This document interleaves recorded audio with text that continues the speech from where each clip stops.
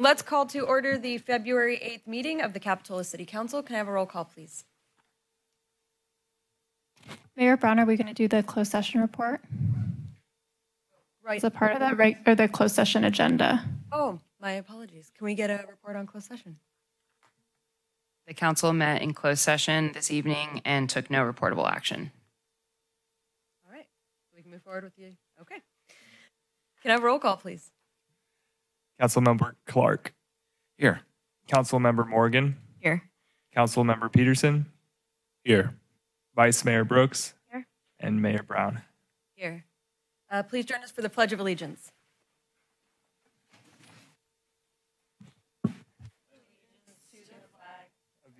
States of America. And to the republic for which it stands, one nation, under God, indivisible, with liberty and justice for all. All right, we'll move on to item two. Are there any additions or deletions to tonight's agenda? Staff has no changes this evening. Okay, moving on to item three, we've got some presentations this evening. Our presentations are limited to eight minutes, and we'll start with item 3A, a presentation from Capitola Recreation Division on the Recreation Strategic Plan.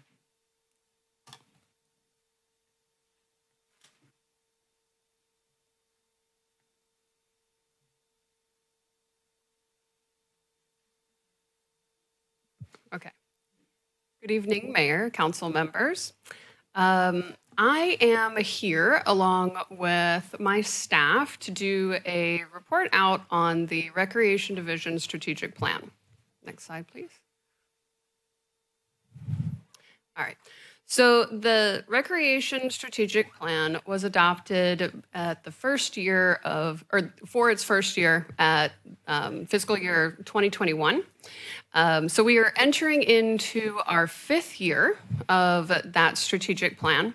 It um, created a road roadmap for us uh, that that comprised of a framework, three key initiatives, and four goals. Um, each one of those goals had three to five strategies in order to lead to accomplishment. Um, now, the pandemic um, adjusted a lot of those strategies, particularly years for achievement and um, some of the overall goal or aspects of the strategies. But ultimately, the pandemic also provided us a lot of opportunities um, for growth.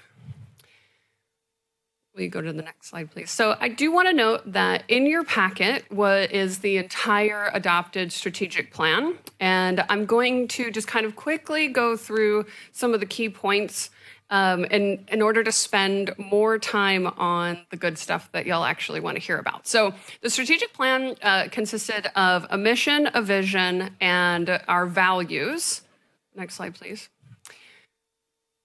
And then the first goal uh, to become an efficient and effective umbrella organization. Next slide, please. A second goal in order uh, was to be more affordable and accessible in our programs and provide those services to the community. To maximize our facilities, both the park facilities and the buildings that we have available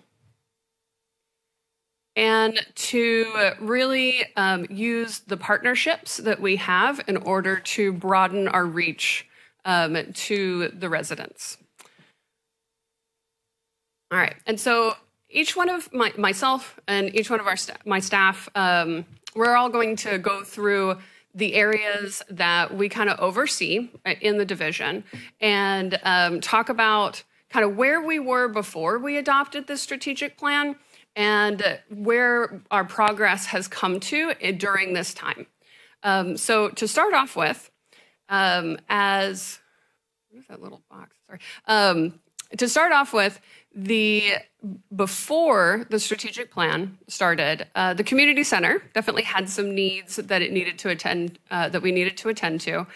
It also, we had a lot of standalone programs that didn't necessarily connect out within the community. And the staff structure um, really provided a limited opportunity for program development.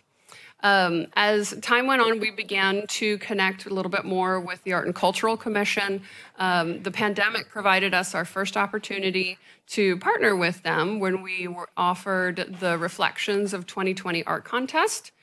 Um, we also, at that time, was doing um, multiple levels of sponsorship where several staff are reaching out for sponsorship. We have since coordinated that uh, within the division and also our events and program calendar for the community offerings.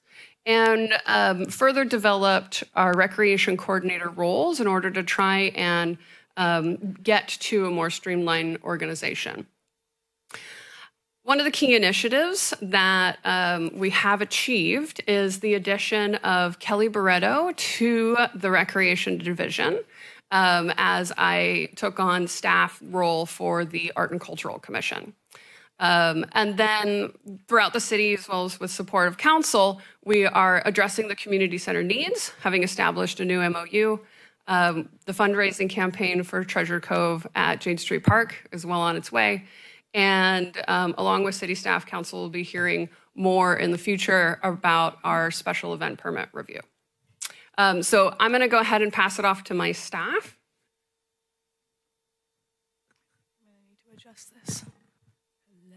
Can you hear me? Okay. Good evening, Mayor and Council members. My name is Casey Anderson, and I supervise classes, community center rentals, and promotions for Capitola Recreation. So, when this strategic plan started, um, Capitola Recreation had adult classes mainly on the weekdays. We had occasional community center rentals when staff um, availability permitted.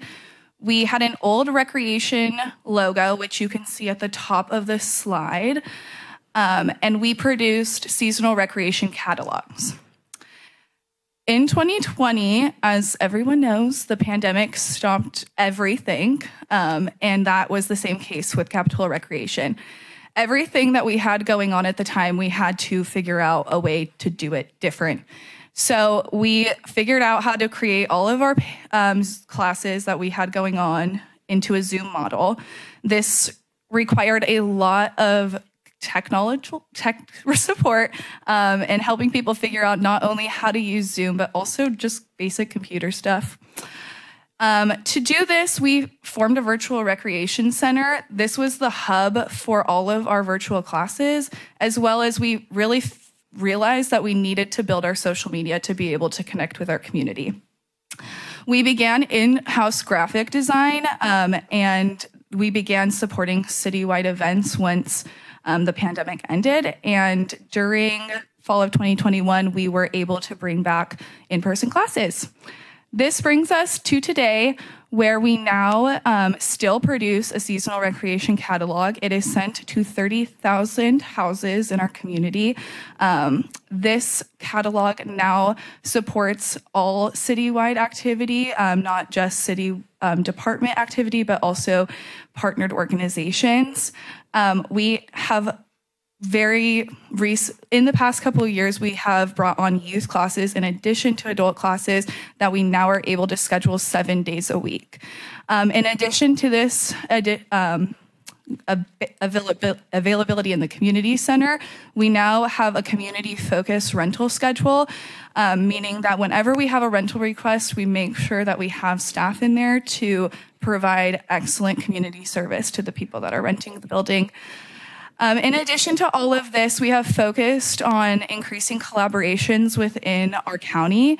We currently partner with the city of Santa Cruz, um, the city of Watsonville, as well as county parks and recreation, um, specifically for Parks and Recreation Month, which is in July. So, July is Parks and Recreation Month. Um, this past summer, we joined all together and produced a citywide, or not citywide, a countywide um, ad that advertised all of the different recreation offerings that were happening in July, as well as advertised the Free Family Fun Day, which is the last Saturday of every July. Um, and it's a free activity for all families in our county to go to. In addition to collaborating with um, local parks and rec agencies, we have also moved to collaborating with parks and rec uh, professionals from all over the, um, the state. We have become a CPRS, California Parks and Recreation Society membered agency. We currently have two district board members. Nikki is the president elect of that board, and I currently serve as the secretary.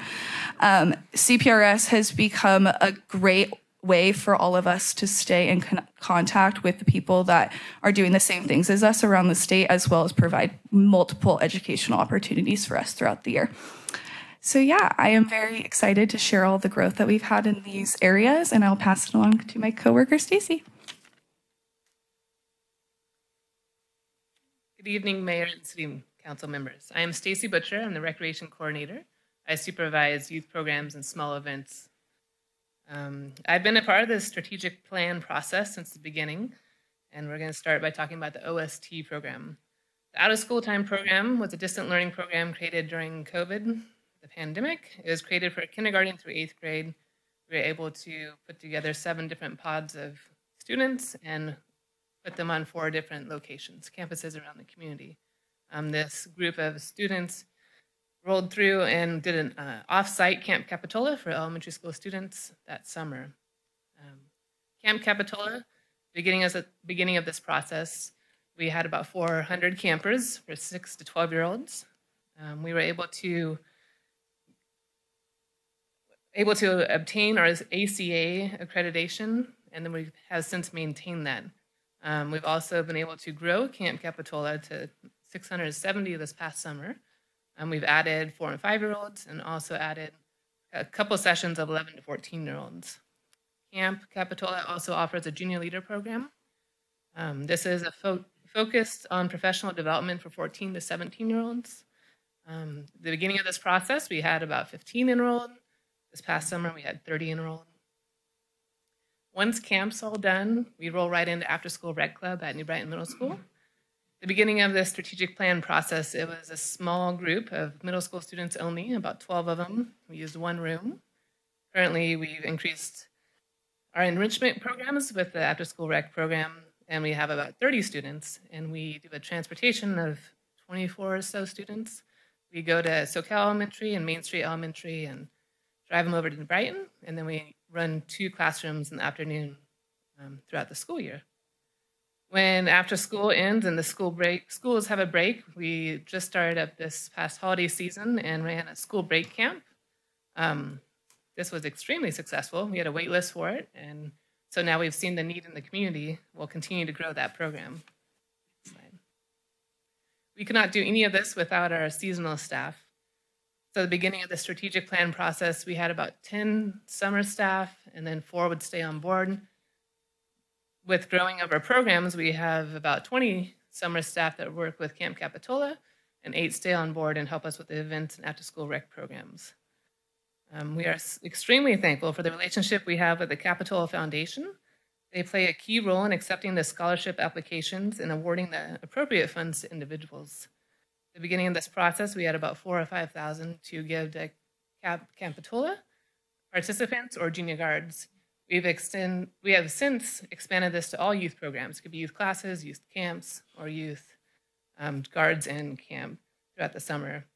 This scholarship fund has grown to $60,000. Um, we are very thankful for the Soquel Unified Elementary School District grant, the Capitola Foundation, RRM, Go Kids, and also the City Council approved ECYP fund. Moving right along, in beginning of this program, the strategic plan, we met with the library staff and realized the best way we could get the youth involved is taking field trips over to the library with their Camp Capitola campers, and also our after school rec students. Um, we've also started the food truck events during this process. We run four summer food truck events over at Monterey Avenue Park. We have live music, um, nonprofits run the beer garden, family fun games. Um, And we've also been able to offer winter movies at Ca- Capitola Community Center, um, and then monthly parent night out events. I am thrilled to be a part of the city and the recreation team. I'm honored to introduce Brennan Howard. Good evening, Mayor, council members. I'm going to highlight what my job is, which is supervising both the lifeguard service as well as the junior guard program, and just take you through kind of where we started and where we are as of now. So, as you see, um, where we started, we used to have only one seasonal admin staff in charge of around 20 instructors.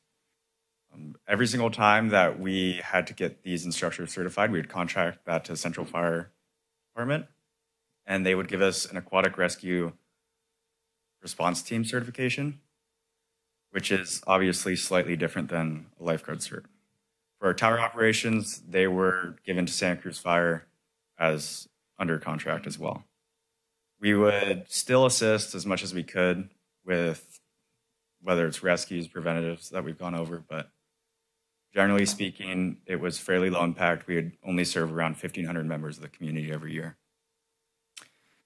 As COVID hit, we bumped up our admin staffing to two seasonals, which would be in charge of the JG program as well as assisting all those instructors, and went as low as 11 instructors.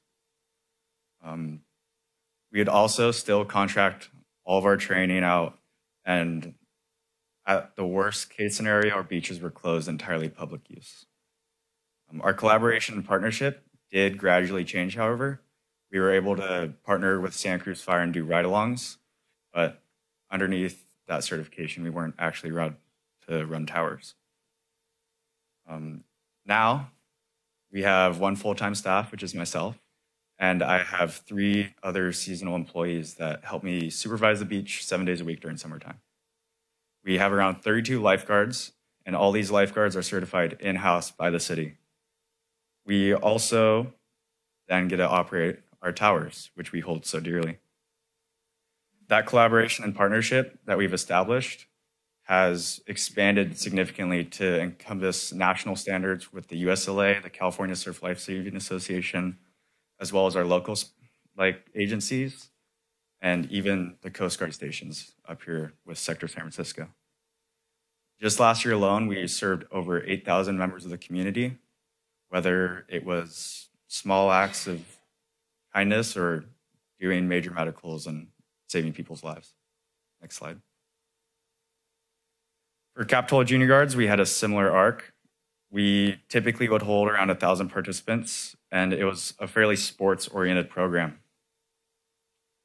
Um, our collaboration really just sat with Parents Club, and they held our hand through this whole process. They've really been driven in making sure this stays afloat.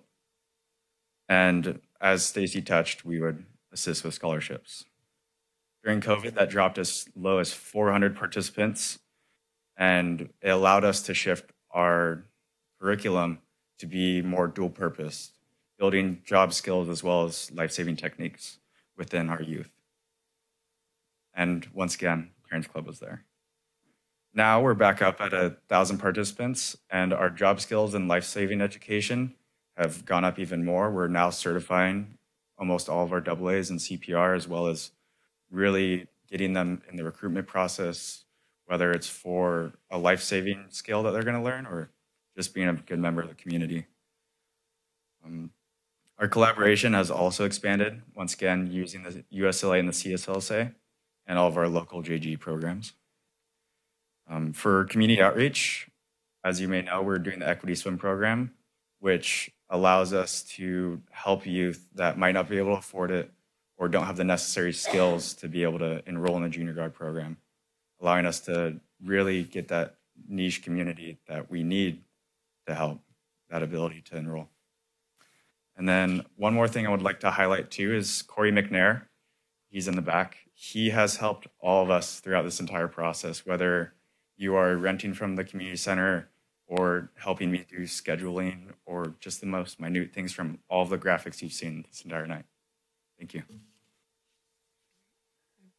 All right, so what's left for um, this last year within our uh, strategic plan. So we do have two key initiatives. Um, the first one is that to incorporate parks um, under uh, the programming of parks underneath recreation.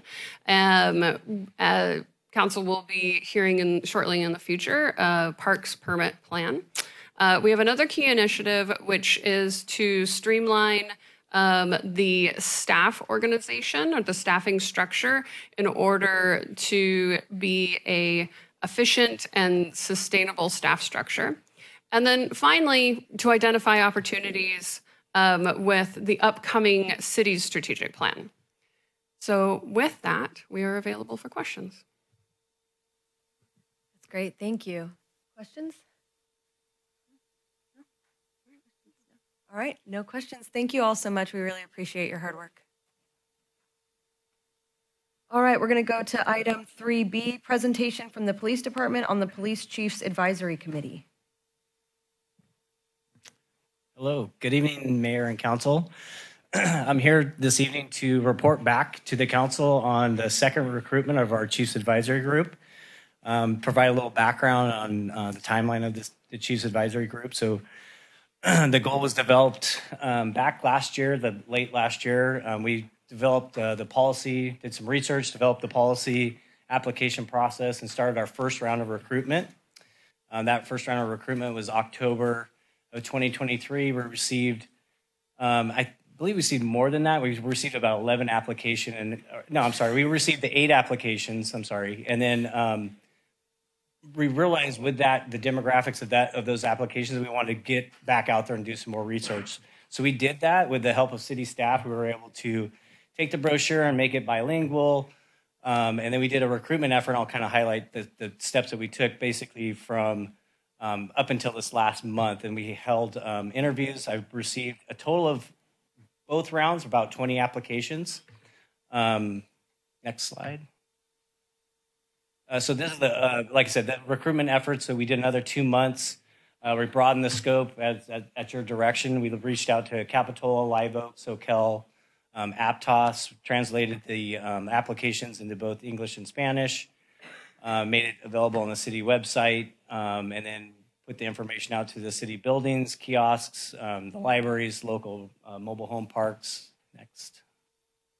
And then we also made direct uh, uh, communication with the Diversity Center, Santa Cruz Senior Center, uh, NAACP, Cabrillo College, some faith-based organizations, and those other groups. Um, and with that, um, I was able to sit down, actually myself and the captains were able to sit down and interview everyone. And at the end of those interviews, um, I landed on the list that's, that's before you. Um, as we did kind of reflect on the current list that's in, in, front of you, we did recognize that we did still have some voids there, that we're going to continue to do some outreach there. Um, I also understand that, that, that this this group here, like I said, we're going to meet and we'll have to see how that works out. If if if a member were to fall off, or if we were to find someone that that meets the our, our Spanish speaking community, I'd be more than happy to kind of bring them in as a part of that community, just so we're encompassing um, everyone um, everyone's voice in this group. And so, with that, like I said, um, your direction was to go out do some more re, uh, recruitment, come up with a list, and bring it back to you. I'm, I feel very, if you want to go back to that list, I feel very, very happy with the list that we're that we've landed on. Um, I'm really looking forward to working with each and every one of these uh, these people, and think that we're going to produce some really good co- content out of this committee. So, with that, I'm open for any questions or if you have any other feedback for me. Great, thank you. Questions on this end? No questions? Questions on this? No? Comments? I'll just say thank you for bringing this back. And it's kind of cool to see that we got a lot more applicants once we sort of broadened the outreach a little bit. So I'm really happy that it went this way. So thank you for doing that. Thank you. And I do appreciate the feedback. And I really this second round, I feel so much better with this group. Um, not that the second, the first group was was lacking, but I feel like we've just covered a lot more bases here. So I really appreciate that. So thank you. Thank you. Really appreciate your work on this. Okay, thank you. Uh, We'll move on to presentation uh, C3, presentation from the Regional Transportation Commission providing an update on the zero-emission passenger rail and trail project. Hi, welcome. Uh, Good evening. Good evening, council members and Chair Brown. My name is Grace Blakesley. I'm a transportation planner with the Santa Cruz County Regional Transportation Commission. I was most recently before you in October to provide information about the Coastal Rail Trail Project segments 10 and 11. And it's good to be back to provide an update on the zero emission passenger rail transit program. I'm sorry, pas- passenger rail and trail project. I'll first provide you with some brief background on the Santa Cruz Branch Rail Line and its context within Santa Cruz County. Uh, the Santa Cruz Branch Rail Line is a continuous transportation corridor that spans approximately 32 miles from the computer, community of Pajaro in the south to the northern community of Davenport. The branch line has been used since the mid 1870s with current freight and passenger excursion services. It provides the, the community um, a unique opportunity to meet some of the transportation needs in Santa Cruz County. With this vision in mind, the Commission purchased the Santa Cruz Branch Rail Line in 2012 and brought it into public ownership. And over the course of the next decade, the Commission contemplated several planning studies, including the 2015 Rail Transit Feasibility Study, which analyzed a range of public transportation service options using the publicly owned branch line. And later, the Transit Corridor Alternatives Analysis and Rail Network Integration Study, which was completed in 2021 which identified electric passenger rail as the preferred alternative that provides the greatest benefit to the county. Not listed here um, also is completed as the Monterey Bay Sanctuary Scenic Trail Plan that was completed in 2013 that relates to the use of the Santa Cruz branch line as a corridor for um, active transportation, multi-use bicycle and pedestrian path.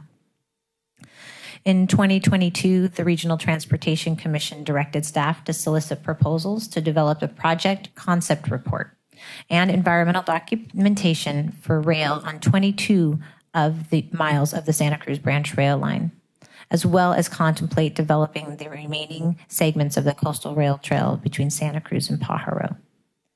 Currently, 17 miles of the coastal rail trail projects have been constructed or are under development as separate projects, and the zero emission passenger rail and trail project would work to complete the 13 miles that have not begun um, have not begun pre-construction activities, and that segment is from Rio Del Mar down to Watsonville and Pajaro. The project development team, which consists of the consultant team and staff from the cities of Watson, Watsonville, Capitola as well, Santa Cruz, and the county of Santa Cruz, as well as the Transportation Agency for Monterey County and the Santa Cruz Metropolitan Transit District and RTC have supported development of a preliminary purpose and need statement over the last two months. Next slide. Project overview. Uh, the zero emission passenger rail and trail project proposes a new high capacity passenger rail service and stations on those approximately 22 miles of the Santa Cruz branch rail line that is shown on this slide from Santa Cruz to Pajaro. The, as I mentioned before, it also proposes to construct the 12 miles of coastal rail trail, which is shown in green um, on this slide, beginning from Rio Del Mar, connecting down to Pajaro. The project aims to take advantage of the publicly owned right of way to provide the passenger. Oh, sorry, excuse me. Oh, this also to connect. Excuse me. The point I want to make here is that the passenger rail project is intended to connect to Pajaro with the state rail system. Rail passengers will be able to bypass Highway 1 and local arterials that are highly congested and provide high quality connections to key destinations within the county. The coastal rail trail component of the project will provide that dedicated and continuous bicycle and pedestrian facility. So the project concept report will look at conceptual rail transit vehicle technology, transit ridership, revenue forecasts. It will evaluate infrastructure. It will look conduct a rail corridor safety assessment. And in the end, we'll identify multiple concepts and refine those concepts into one preferred rail transit and trail build concept that clearly defines the project for the next stage of project development, which would be the environmental analysis stage. Next slide. Here's the project set schedule. Uh, the project concept report is anticipated to be completed in spring 2025. And following the completion of the project concept report, the project will move through preliminary air engineering and, as I mentioned, environmental documentation. And then after that, project approval and right of way and final design. Next slide, please. So, in coming back to the project concept report, the, the uh, point in the project that we're working on now, the first milestone of the project concept includes developing the preliminary purpose and need statement. The preliminary purpose and need documents the needs and constraints that drive development of transportation improvements in the study area. It also summarizes the priorities in the development of alternatives and establishes a fundamental purpose of this project. Next slide, please. The preliminary purpose and needs, um, I'm sorry, the project development team's input was critical in developing the preliminary purpose and needs statement, and that's inclusive of the needs of varied stakeholders in our community. And on January 11th, the project development team recommended this preliminary purpose and needs statement that's um, presented to you here in summary. There's a complete description of the preliminary purpose and need statement on the RTC website, which I'll post the link uh, later in the slides.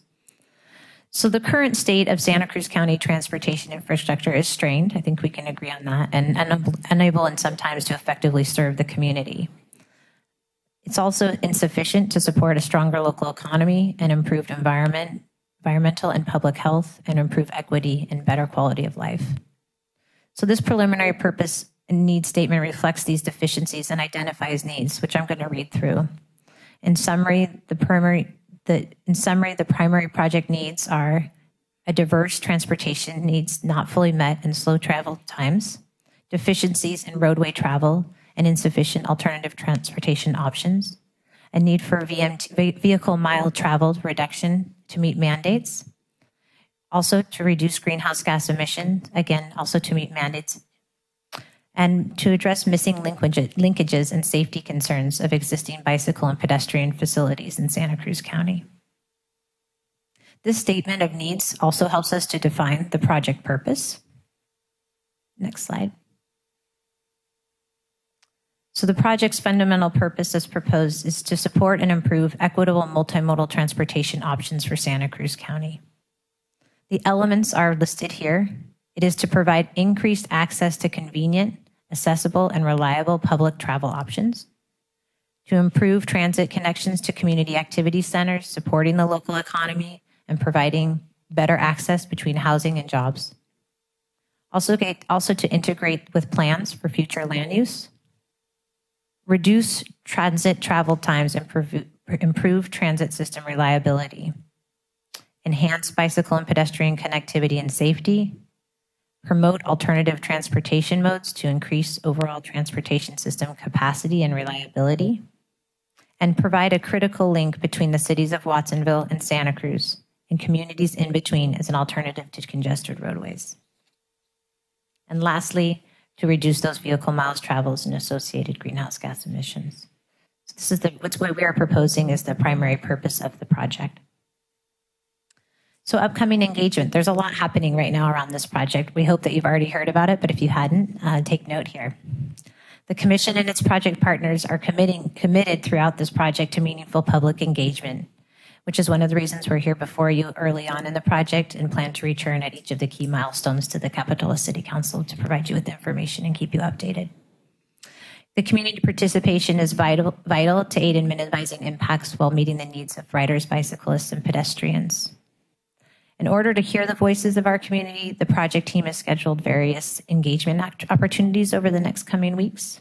Uh, we do have a um, website. Um, it's a virtual open house that's live. It's been live since last Monday. Uh, we've been briefing stakeholders and having um, meeting with key partners. Um, next week, as you can see here, we're having virtual and in-person open house meetings. Uh, one is on Monday, February 12th um, at Ramsay Park from 6 to 7.30 p.m and a second on Tuesday, February 13th at the Live Oak Grange from 6 to 7.30.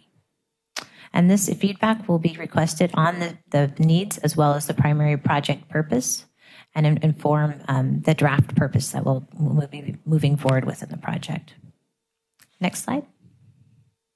So future milestones to kind of help you kind of give an idea of how the project's going to round out going forward. Um, so right now we're at the We Are Here uh, spot where we're looking at the preliminary purpose and need statement.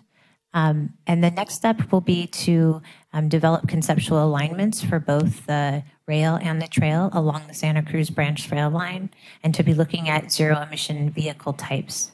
So the project development team is just starting to look at those things now, and we'll be bringing that forward to the community this summer and to you.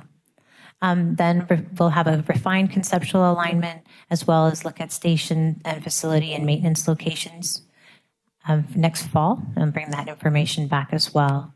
And then with that, refine those concepts based on public input and further analysis to develop a draft project, project concept report as well as associated cost estimates. Next slide, please. Thank you. Thank you. I really appreciate you coming out here to share that with us this evening. Questions or comments? Yeah, go ahead. Thank you for the report. Um, I have a question um, on the slide with the project overview.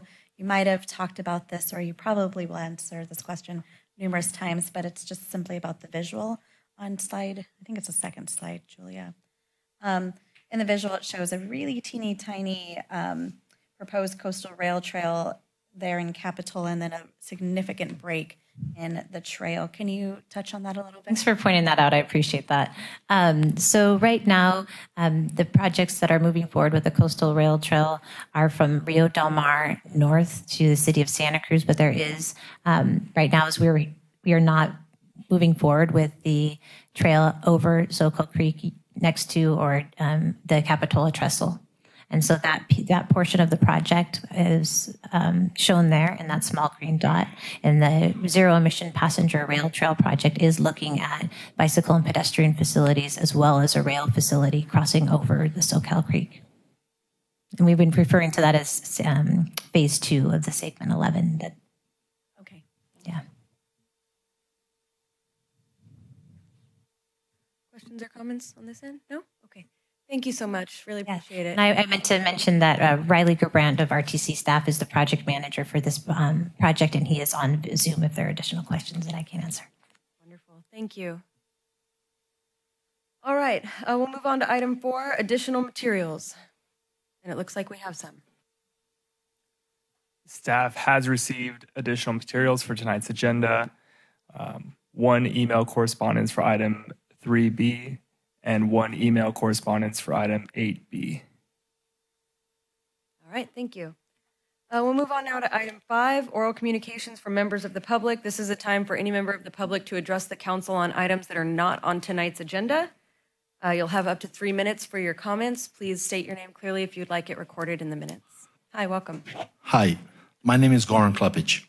I, I play almost every day at Jade Street Park basketball, but that's not what I wanted to uh, talk about today. Today I made a call to the CPD at 10:50 a.m. exactly because I saw a gang sign or a graffiti sign next to uh, Whole Foods area there. When I uh, made that call, they didn't understand my English very well. I don't know what to do anymore when I make such a call. Maybe I need to contact the Naval Postgraduate School in Monterey. They understand Serbian, French, English, Italian uh, that I all speak. Maybe they can help me out and see what I'm talking about here in Capitola. Thank you very much for listening. God bless you all. Thank you.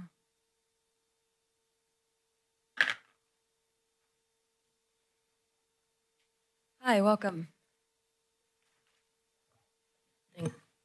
Okay. So I brought the 211 annual report since 211 is um 211 day. And I don't know. Uh, good evening, esteemed members of the City Council. I'm honored to stand before you today to share some significant insights into our community well-being and the vital services we have been able to provide. First and foremost, I want to draw your attention to the invaluable resource we have established, the 211 phone line.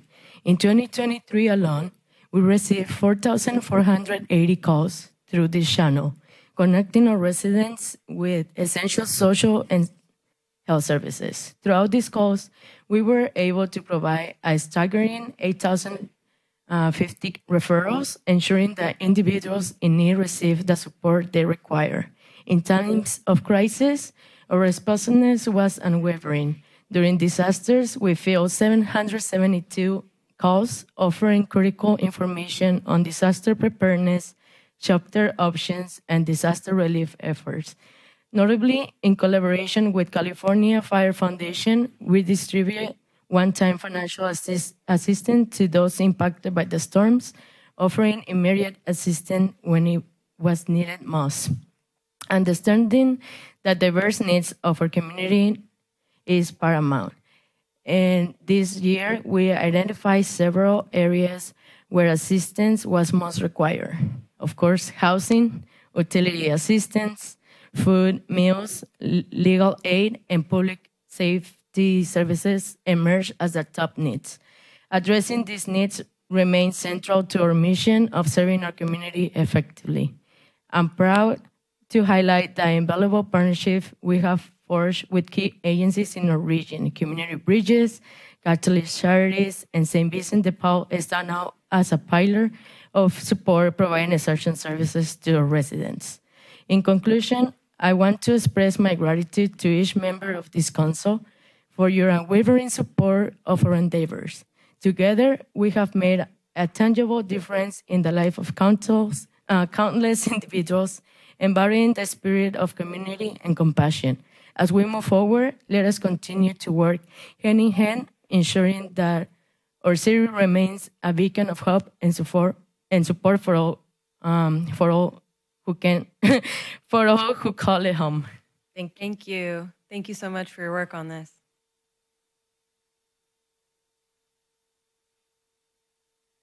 Hi, welcome. Thank you.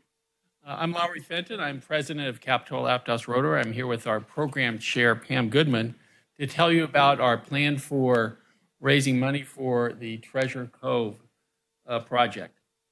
Rotary is an organization of 1.4 million around the world that's dedicated to um, community service, to improve standards in all locations, and to advance goodwill and peace throughout the world.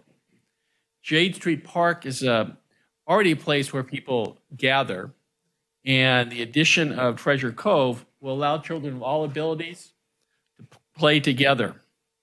There'll be accessible ramps, slides, swings, as well as a sensory garden and a game table for people who prefer to remain seated. It shows every child you belong, you matter, and this place is for you. We're pleased to make this our focus this year for fundraising. We have some fun ways for the community to participate.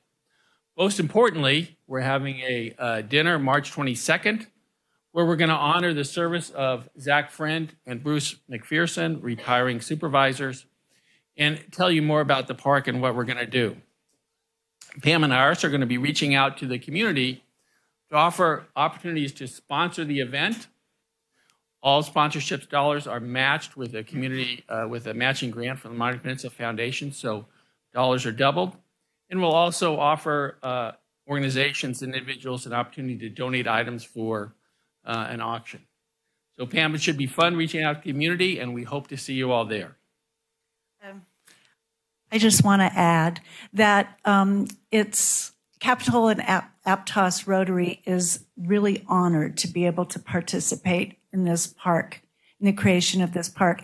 And we know that it brings people from all areas. If you hang out at Leo Parks like I do, Leo Haven like I do, there are um, people coming from over the hill, down south. And so, you know, it's going to help tourism also, but but also be another place for our kids to go. Thank you. Thank you. Thank you both so much. We're really grateful for the efforts that the Rotary Club is putting in to fundraise for this. Hello. Uh, Gary Richard Arnold, Mayor, Council people. I think we have the form here. A lot of people think that we have representative government, but it's never talked that you're part of a COG, a Council of Governments. That is no more than a Soviet. Uh, it was put together at the University of Chicago uh, with Carnegie, uh, the chairman of the Federal Reserve Bank of New York, um, Laura Spelman uh, Rockefeller Foundation, And uh, the person that assembled the finances for that was uh, Daniel Coit Gilman, who in, actually incorporated the Skull and Bones network, of which uh, one of the, uh, Zach Friend, used to work for um, one of these members of Skull and Bones. In fact, he had two former employers uh, that were registered as communist lobbyists. Also, we've heard Bruce McPherson mentioned. You look up on, you go home tonight and you look up uh, Bruce McPherson and Katrina Leung, front page of U.S. News and World Report.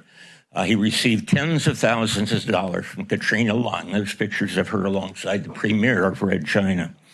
Um, the person in charge of these uh, CalCog uh, which is again a parallel government which you're not addressing. It's not taught in your elementary school, it's not taught in your high school, it's not taught at the university. And actually, Rotary, by the way, when the UN was formed in San Francisco, the first acting secretary general there uh, was supported by Rotary and the Council on Foreign Relations. And uh, that member was a member of the Council on Foreign Relations. His name is Alger Hiss. He's a traitor to the country. He's, you know, uh, one of the last people. Uh, your kids are being thrown so much globaloney, it's uh, really pathetic. The man in charge of the University of Chicago, uh, they claim that this is uh, uh, to develop scientific social control, and that's what all of this uh, sustainable stuff is. The man's name was Charles Merriam. He says the human system may be reconditioned through the glands, perhaps through the bloodstreams, like fluoridation, or through any one of a thousand minor manipulations, stimulations, gradations that, that silently move uh, subtly to their appointed end. Uh, the uh, most the strongest lobby west of the Mississippi is uh, run is California Forward. That was set up by Leon Panetta, who actually gave military and policy information to a red Chinese communist spy who has two plaques on our courthouse uh, today. And neither Bruce McPherson uh, nor uh, Zach Friend will take down where uh, that, uh, that danger that happened. And a lot of our fathers and grandfathers were killed during um, red Chinese activity in Korea and Vietnam. Thank you. Thank you. All right. Any other oral communications from members of the public? Seeing none.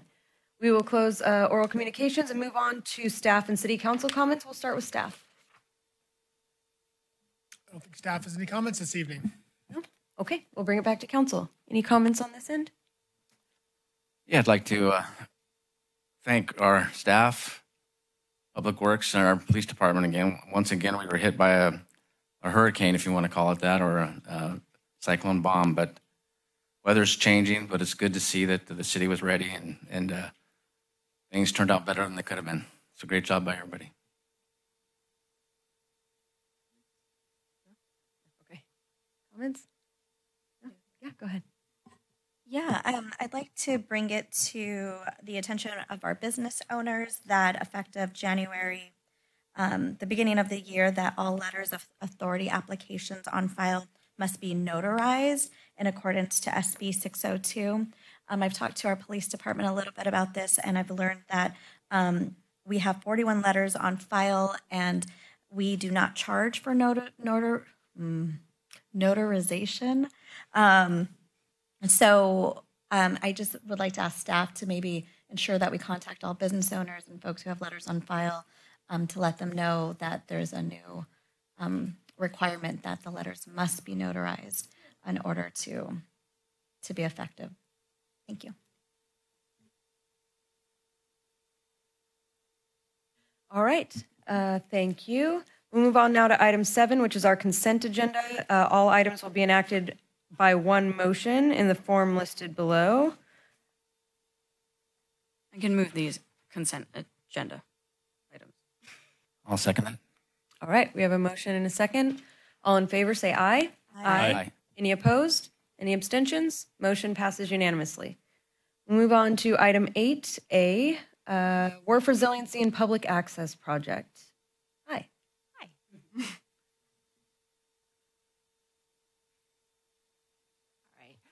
Good evening, Mayor and Council members. As you may be aware, we have a project going on out at our wharf right now, and I thought now would be a good time, as we've achieved several milestones, to uh, have an update. Next slide, please. Oh, by the way, I'm sorry, before that last slide, those are all new pilings. So all of our old ones, not all of our old ones, but many of our old ones are wood. All the new pilings on the expanded wharf are of um, FRP, so fiberglass. And so where our old pilings kind of went in at an angle, these go straight in so you can look right down the alley at our new wharf. Next slide, please. Um, so a little bit of overview if you are not familiar with the project. Key project elements are widening the wharf um, to make it more resilient, less susceptible to, right, where someone is pointing there for me, um, is the widening bit there, um, looking out towards the wharf house um, fixing pilings, doing full deck replacement, full railing replacement to current code, and the addition of restroom facilities both at the head and the base of the wharf. It's really to ensure the wharf's long-time resilience and enjoyment for all of the Capitola residents and visitors. Um, we started our construction with Cushman Contracting this past September. Um, so progress updates, some of the most recent items completed are the removing of all of these old pilings from 19, I want to say 28.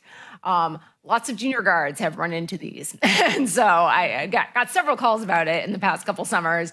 And so those are now removed and no longer hazards. Um, they've also been saved for potential use as um, aesthetic elements of the community center renovation project. And then on the bottom there, you can see where we have been getting to our widening. So the text says 41, but really we are at bent 43 of 46. So we are rapidly approaching our full widening length, and we're expected to get there in the next few weeks. So that is very exciting for us. Next slide, please. And then most recently, yesterday, we got our restroom delivered, which was also very, very exciting. It came on a ship from New Zealand. Um, and so that was put in today. The utilities aren't hooked up. We're going to do a whole process where we make sure this thing is operational before we let people in it. But it was delivered and placed in the past couple days. Next slide, please. Um, so we have had some setbacks in this project. Um, most recently, the uh, December storms. We had some broken pilings. You can see there in the middle picture, there's quite a bit of debris, though not as much debris as from January 2023, that came in and hit some of our older piles, um, requiring replacement of some that we weren't intending on replacing. There was also some damage and deformation to places where we were currently constructing and really led to some hazardous conditions. I will say that we have fully fixed the midspan repairs and have kept widening the wharf. And we have not yet gotten to the seaward side, the head of the wharf repairs, and we haven't fully completed that assessment of what damage is there as we are working steadily from the landward side out towards the end of the wharf. Next slide, please. Um, so unfortunately, also in this latest storm, the wharf house sustained some really major damage. Um, as you can see there, the seaward facing wall, which is where all those windows were, has completely caved in. Uh, what you can't see in this picture is parts of that, it took part of the foundation with it and is inside the building. And so, with the combination of this most recent damage, damage we knew from January, which we had done a hazmat evaluation to show that there was a significant, basically a gut job needed of that building, and then also the condition of the roof and standing water. Um, that building is deemed a total loss. Uh, both myself, as a registered civil engineer in the state of California, and our building official have made this determination, and we do plan on moving forward with the demolition of this building. Next slide, please. Um, with the widening, we've been able to recently more easily get out into both of the buildings. Prior to that, we had visited the buildings before, but mostly by boat. It was very limited access up until just a few weeks ago. So we were able to do these assessments both on the wharf house and the boat and bait shop. We've also found significant uh, damage to the boat and bait shop. Um, there's issues with some of their hazardous materials containment out there. Um, issues where the building is not to code and is currently red tagged. Everything on the wharf is currently red tagged. It has been since January 2023, um, and it's going to re- require to be addressed either by some major renovation or potentially demolition to be determined. Slide, please. Um, other ongoing challenges on the wharf, as mentioned before, the head of the wharf assessment is ongoing as we get more access to um, analyze what's happened out there in the structure of the building, obvious of the wharf, obviously the buildings, and then the winter just keeps on coming. Um, so there's still storm events that we anticipate having prior to finishing this project, and we're really using all the measures we can to adapt and do the work we can and have it be the most solid uh, construction site that we can have so we don't have further damages as we go along. So we are actively working with the our engineering team, Moffatt and Nichol, who has been with us this entire journey, and also with the contractor to really avoid any damage that can be avoided with our ongoing winter. Next slide, please. Um, so the budget on this one. So we still have some uncertainties, again, with the head of the wharf. Um, some of our funding has been on hold. So if we start up at the top, we have the budget that we had presented back, I want to say in May, when we bid this project of $8.9 million. This doesn't include the $500,000 that was awarded in the state budget that is currently on hold uh, with the community center funds. Um, and then we have our expenses. So we have our initial contract with Cushman Contracting. We have change orders that we all very much anticipated with this project because it is a structure in the ocean. Once you start removing decking, you find other pilings that need to be repaired, other structural elements that need to be repaired. So that was not surprising in any way. The storm damage was very much surprising and not something we had allocated into this budget. And so to date, our contingency that's remaining is around $336,000. However, that does not include the cost of the building demolition that we know we have to do at the Wharf House, which, considering the hazmat situation at the Wharf House, that a lot of that stuff to be demoed is hazardous materials and has to be removed before the building is demoed. And then the location of the building being out on a wharf that has restricted access and weight limits, it will be more an expensive project is than if we were going to go demo some other building on land. And so we expect that to be four hundred to seven hundred thousand dollars, and we are actively working on getting multiple quotes on that right now. Next slide.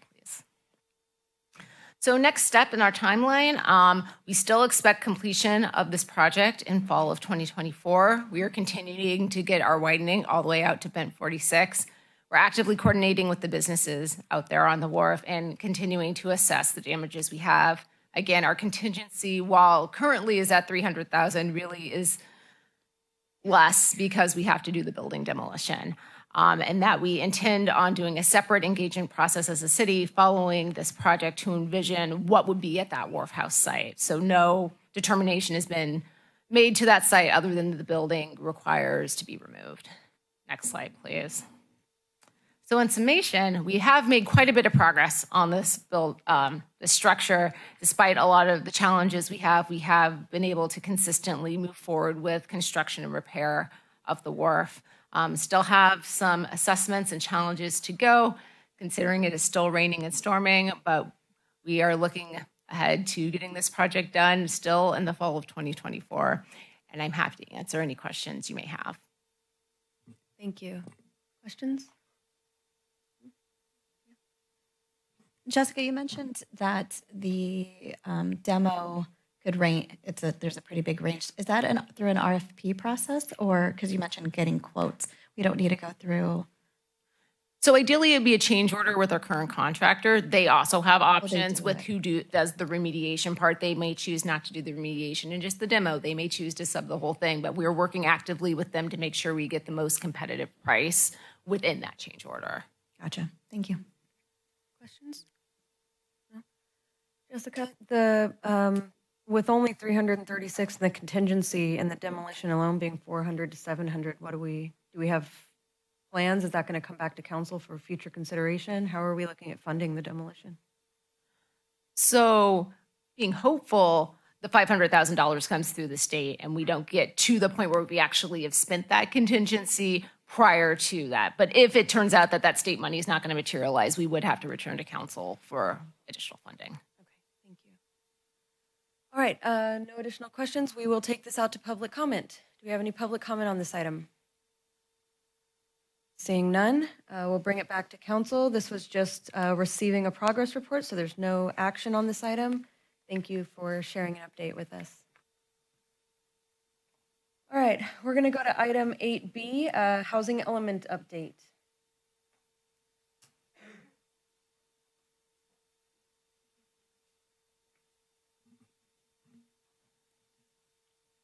Good evening, Mayor and Council. Uh, For you tonight, I'm going to give you an update on our housing element.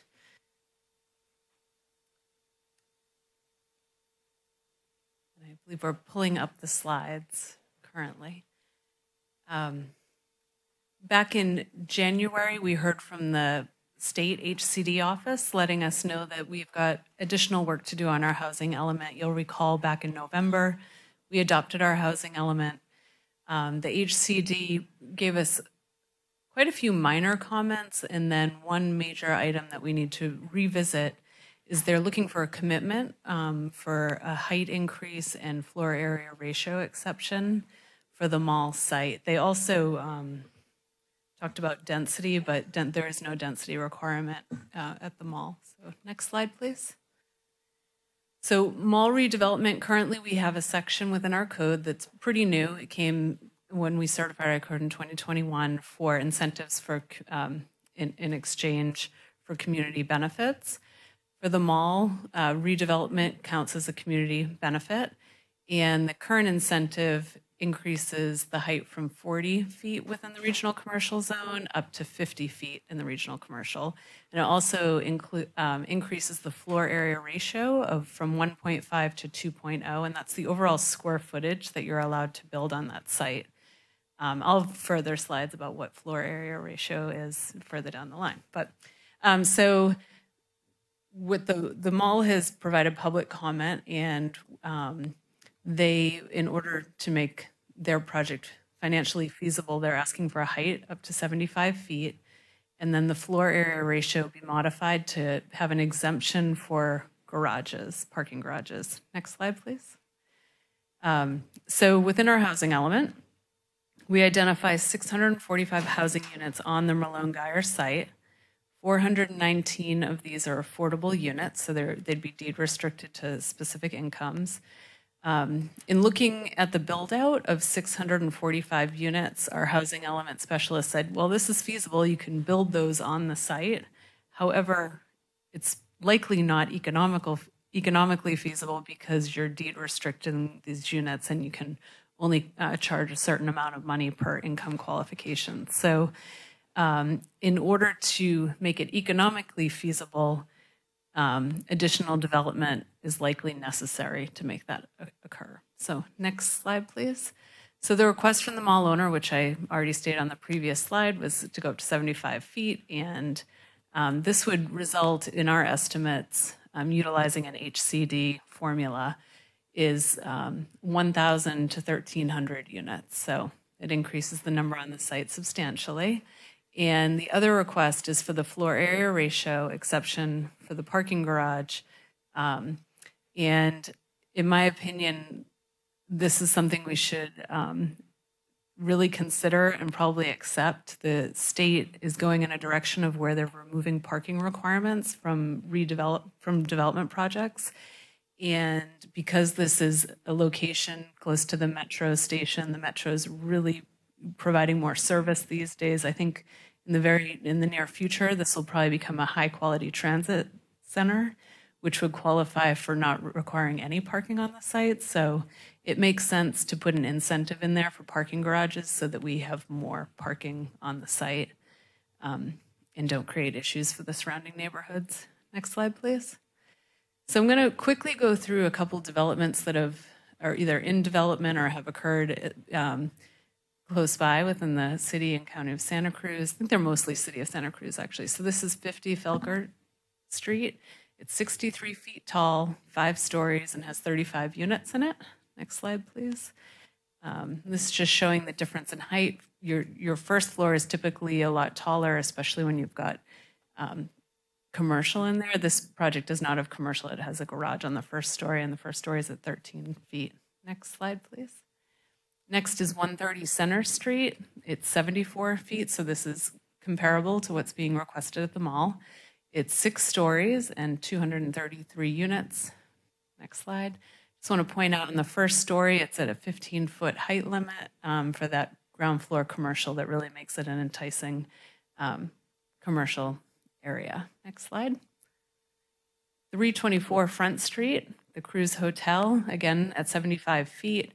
Six stories tall, 232 rooms. Next slide. And just showing this actually has parking underneath. Um, the first story is at, uh, that red line is showing where the, the new grade is. And the first story with the commercial use is has 15 foot heights. So next slide. Uh, Capitola Mall, this is the old, this is the 2019 conceptual review. Um, in, in the conceptual review, it was uh, six stories on this frontage at 75 feet. The plan that came in in 2019 was for 637 units, and as you can see, it's a mixed-use project with ground floor commercial. Next slide, please. This is showing, um, this is where um, 38th Avenue would have extended through the project. And here you're seeing seven stories because they don't have the ground floor commercial. There's uh, the tenant leasing spaces on the bottom. It's an office space. And so they're able to fit in seven stories. I also want to point out in this slide that you see the garage on the lower left corner, the garage door. This there's a garage within this structure that's completely wrapped by the architecture. So it really makes a nice aesthetic for the experience of the of the mall and the street frontage. Next slide, please.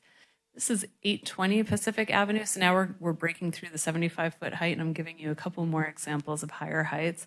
80 feet high, seven stories, 85 units. So um, next slide. That's the first two stories in that building is the first story is commercial, the second story is office space. So you're seeing a 16 foot height on the first story and then 12 for the second and then 10 for the stories above.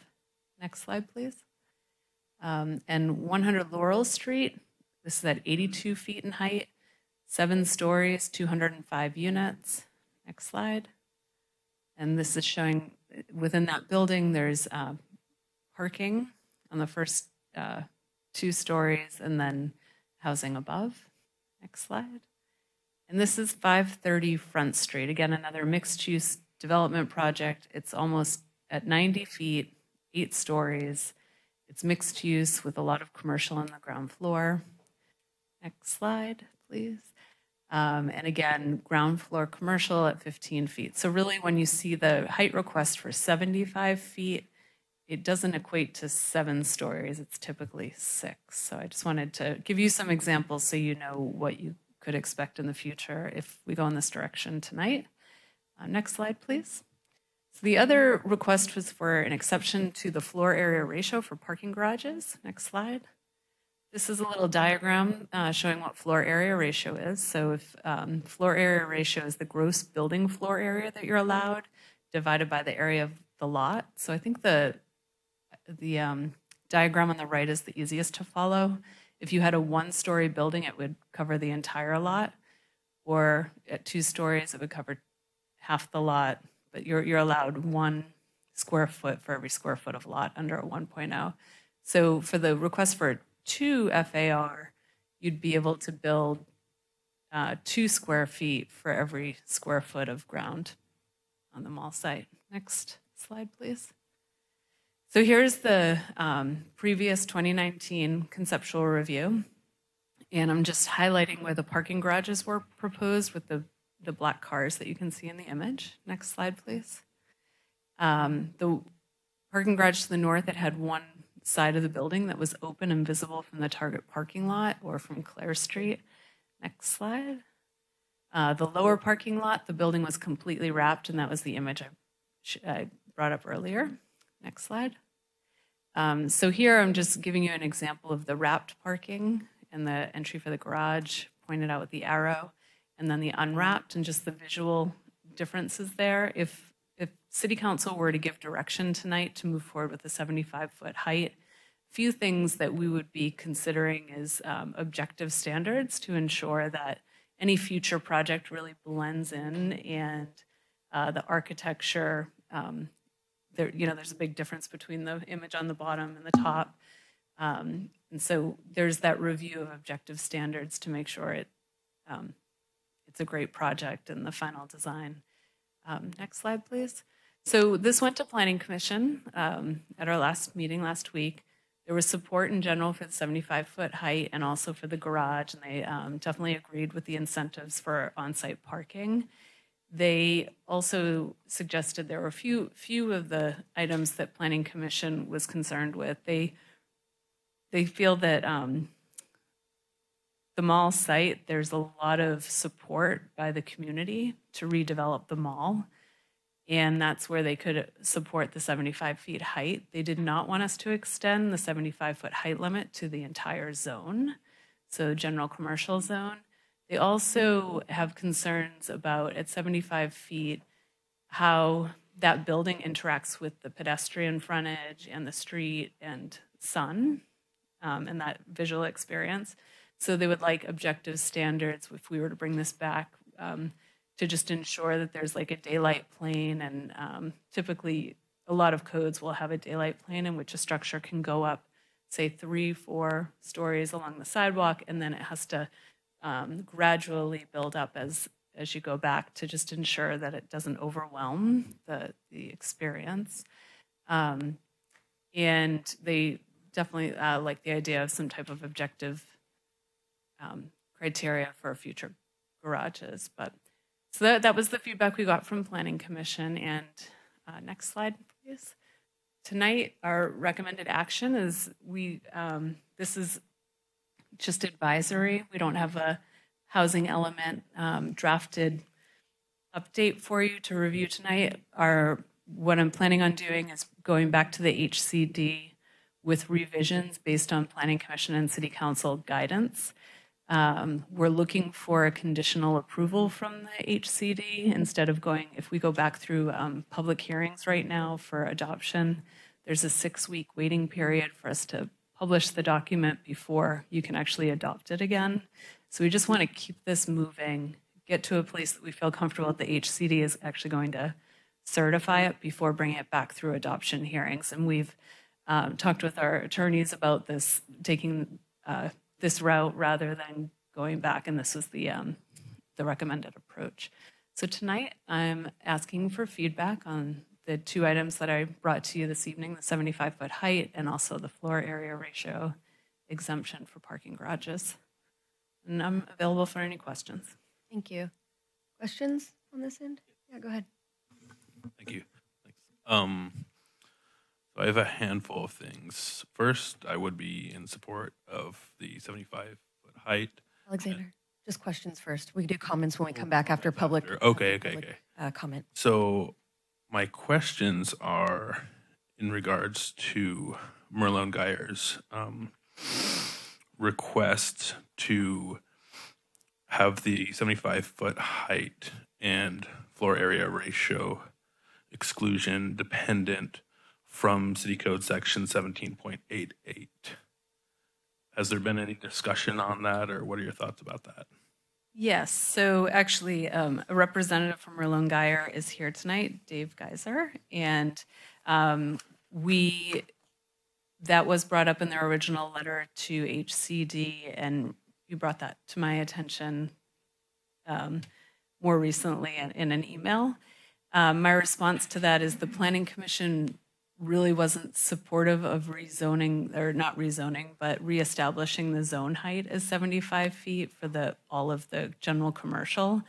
And our recommendation is really to keep it in that incentivized area so that not all of um, general commercial is north of Capitola Road, extending to the highway. So that whole area wouldn't be have a height of 75 feet allowed, just just an incentive for the mall. So um, we're trying to.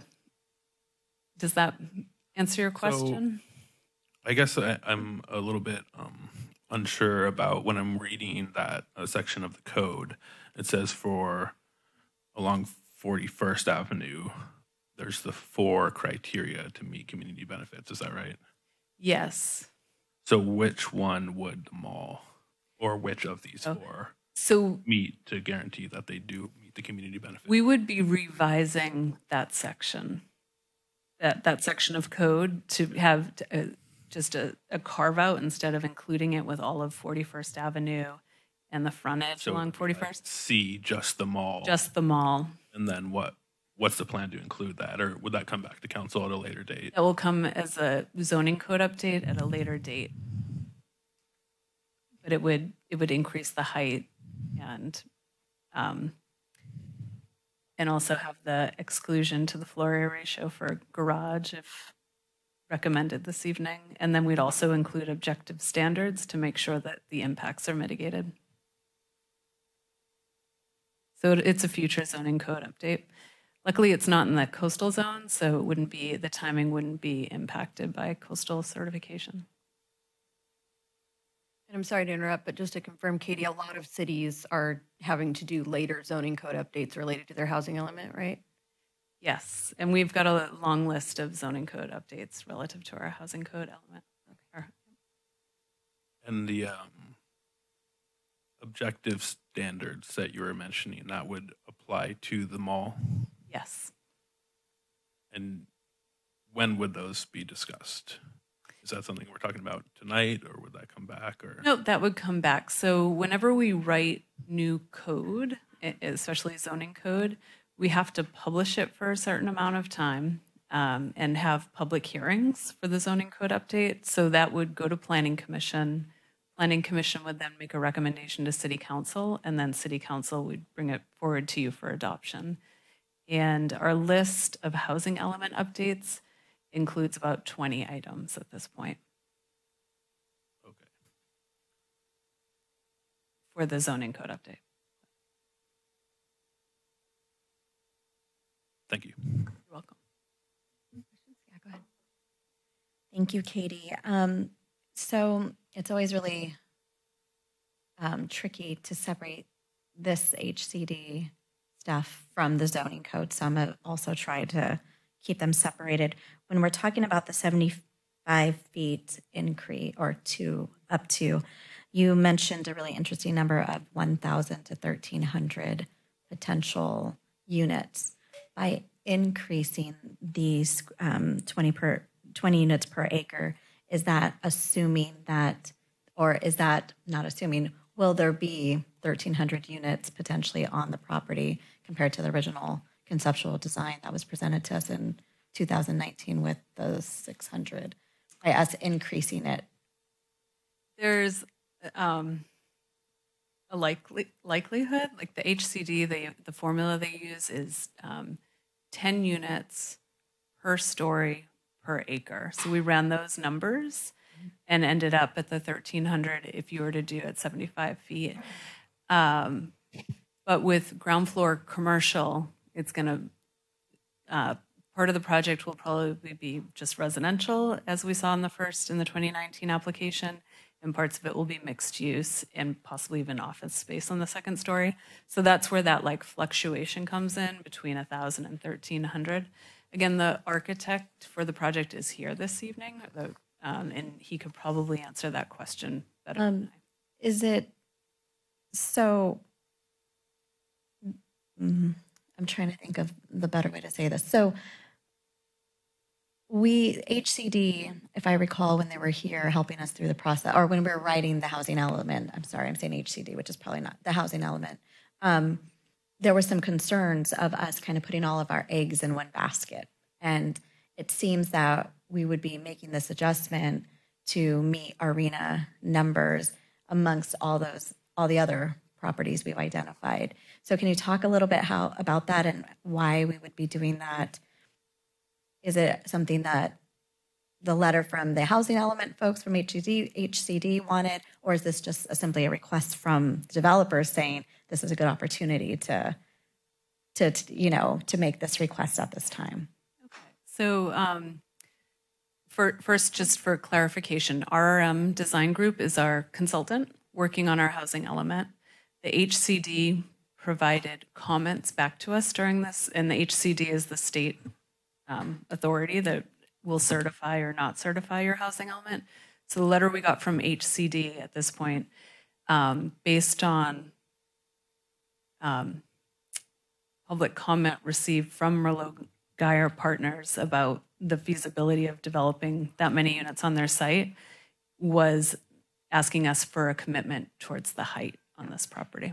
Okay. Um, we also went over the percentage in our letter. We, you know, I can't remember what our number was, 1,000, the buffer. So if we didn't increase to 75 feet and give, potentially meet Merlone Geier's request, are we still within our numbers um, with, with our, within our RHNA numbers, the way we've, if we didn't do that? We would, well, so it's feasible to develop the number of units that we suggested within our housing element, but the HCD is saying it's probably not economically feasible. So it's there's still a buffer there that we could decrease the overall requirement for uh, the Mar- for Merlone Geier, and and then it might be more economically feasible at a at less height. Yeah. However, I caution us to remove that buffer because anytime a development comes in, I guess um, my concern is that we went through extensive community um, outreach when first working with Merlone Geier to just get to the 636 units as presented in 2019. And we're not having that conversation in depth with the community again, but yet zoning this area for potentially 1,300 um, by allowing this, this increase to 75 feet.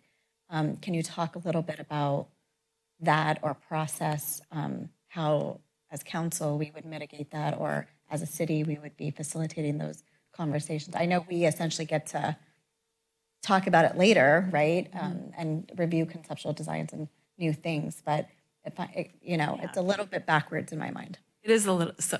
So thank you for pointing that out. Um, so th- the following, the steps that would occur is we really before bringing forth any type of amendment or discussion on 75 feet, we wanted to check in with Planning Commission and City Council. If the HCD finds that what we draft would suffice in terms of getting a certified letter, um, a certification of our housing element, then the the public process, it, the, the whole um, there'd be a six week um, it, time period in which we publish exactly what the updated changes are, and, and within that, um, for the housing element, there would be more of a just a commitment to um, updating our zoning code to allow 75 feet on the mall. So the public that that the updated housing element would be available for six weeks for public comment. It would also go before Planning Commission, and there'd be a chance for the public to weigh in at that point and let us know whether or not there was support um, for the amendments to the housing element, and then it would come to City Council to see whether or not, you know, with a recommendation from Planning Commission and then City Council. If at that time there was a lot of uh, public coming out against the 75 feet, then we have the uh, we have the ability to change what's drafted and submit something different and come up with a different alternative for our housing element. Then there's another six weeks after that.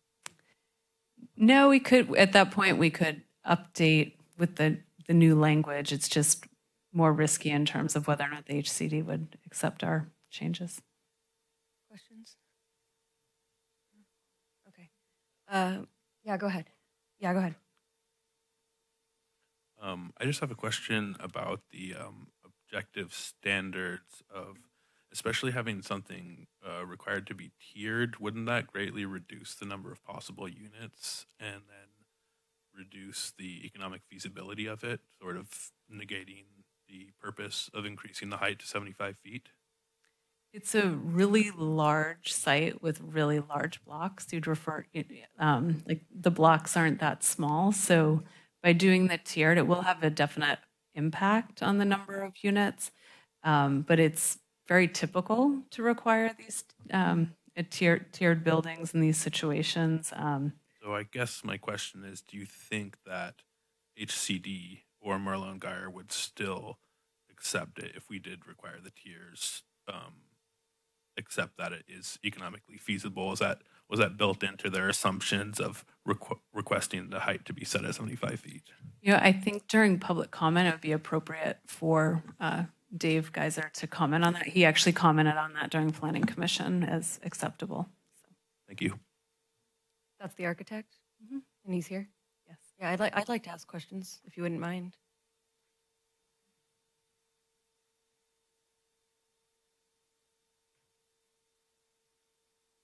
Hi, welcome. Uh, my name is Dave Geiser. I'm with Merlone Geier Partner. I'm managing director. Thank you. We appreciate you being here this evening. This is um, a development that we've all been really looking forward to see come to fruition for a long time. Um, so we saw, um, so I first, maybe let's just address what I feel like is really the elephant in the room. Is there going to be 1,300 units there? We, if no we increase this to 75? Original application was for about, what, 630, 640 units. Because we have existing tenants, existing leases uh, that we need to keep in effect, um, and because the need or our desire to have a uh, um, multi-use um, with, with retail and housing, uh, we have to respect parking requirements and that as well, and how where we can stack and where we can't stack housing above or retail. So we have we have no plans currently for uh, a thousand or thirteen hundred units. But I would doubt today if that were, if that were possible, give, even given the seventy-five foot height limit and the, the exception on the, the FAR and the, the parking uh, structures there. So so we, we don't have any plans today for anything like that. Okay. If for some reason down the line that were to change, um, a thousand units, even if there's one person per unit, is a 10% increase in our population in one development. So if that would be the case, would Merlone Geier have any um, interest in discussions about infrastructure improvements in addition to the development? Because clearly a 10% increase in the population is going to have a lot of impact on roads and schools and the need for police services and fire services. Yeah, my guess is that environmental impact report will identify all of those impacts, and then of course the mitigation measures to you know, d- you know, to address those impacts would have to be uh, you know addressed by the by the developer. Okay, great. Uh, and then I guess my, my last question um, is so we saw a slide of an 82 foot building with only 205 units. So I'm wondering if you can talk to us about um, the idea of economic feasibility and why um, an increased height or an increased number of units would be required. Because the slide we saw was seven or eight feet and it only had 205 units. So I'm wondering how that was economically feasible. And not that you were the developer for that, but And again, we're speaking hypothetically here too. 'cause We don't have, we're not just planning on bringing back the same plant. We would have to go back and relook at, you know, all of the impacts uh, that we've seen happen over the pandemic with the impact on retail and uh, uh, economic viability just with financing and those kind of things. Um, I think our largest concern with economic viability is the requirement for this, uh, this workforce housing. It- We don't think that makes the project work. Um, In fact, we would look for nothing more than the, uh, the affordability component that's currently imposed on all projects within the city of Capitola, not, not the 419 workforce housing. That, that renders the project infeasible. So I think that's what Katie was talking about, going back and re-looking at um, what, what does make the project feasible. And in our mind, that is the, the rate, what is the normal affordable requirement for housing of this type. I don't think it's really the, the height so much. Um, we we don't think we need to build higher than 75 feet uh, here in terms of having that standard, which is why we suggested it. Um, there's, we just don't think it's, we, uh, that's not what we do necessarily. Uh, we can do seven stories in, in um, 75 feet. If you go higher than that, you get into high rise, and that gets into certain uh, building types that are more expensive to build, and again, go into the economic feasibility. So we don't think we need more than 75 feet in height to achieve a product that makes sense. It's just the, the affordability component uh, shouldn't exceed what, what the standard is for the city. Okay. So, so if it's the, and, and we're not talking about lowering the affordability component in this discussion this evening, based on the presentation we just received, right? Correct. So if, if it's the 409, it's 400 and, what was it, 19? 419. Affordable units is what makes it infeasible, then there would need to be an increase in the market, in the number of market rate units in order for it to pencil out. Oh, yeah. So, so we're at 600 something right now, but you're saying we're not necessarily, there's no plans to go up into the thousands. No, which why which is why 419 units would be, you know, 40, 50, 60 percent of the total number of units, which which doesn't work. It doesn't work, quite frankly. Do do you, do you understand why I'm confused right now? Yeah. Okay. So I'm confused though because we're not talking about removing the affordability requirement right now. And the whole idea is that if we are going to increase the parking ratio and the height limit, that HCD will say, okay, now you've changed your um, your requirements to make building feasible, but you're telling me that that's not what's preventing be- building from being feasible. No, I think the HCD recommended a, uh, an economic feasibility analysis of what that, what that workforce housing requirement would do to the affordability of the project, did they not? No, the HCD is looking for a commitment of up to 75 feet based on Merlone Geier's uh, public comments stating that they need 75 feet in order to make this feasible, the project feasible. That's a number of units. That's not, that, we've also, I believe, sub- submitted comments dealing with the fact that the number of affordable units at sixty-five percent of the number of, you know, number of units just doesn't work. Okay, so I guess, um, okay, yeah, I'll save it for comments. Okay, thank, uh, any other questions? Well, I guess it, I feel like this conversation's a little ahead of the game if we don't even know what the potential amount of units are. If we're, A, we're talking about 600 something and then when, then we threw out a thousand to 1300. So is, is that, is it going to, if we raise to 75 feet, is it going to be somewhere in the middle of that, those numbers or? Our previous application was for seventy-five feet in height and six hundred and thirty-six units. So we, so in order to get to the six hundred and thirty-six units, as assumed in the, the housing element, we would need seventy-five feet in height. That's what, that was our previous plans, and I think that's why we came up with that number. So in order, in order to do the six hundred and thirty-six units, we need seventy-five feet in height. That's what we're saying, because that was our previous project that we did. Got it. Is that true? So in 2019, when you submitted the conceptual review to us, or design, excuse me, um, that was the- the 636, the original photo was with 75 feet. Okay. Oh, I wasn't. Okay. That makes more sense to me now. Yeah, it wasn't, it wasn't seventy-five feet and we can do thirteen hundred units. I, again, I don't see how we could do that.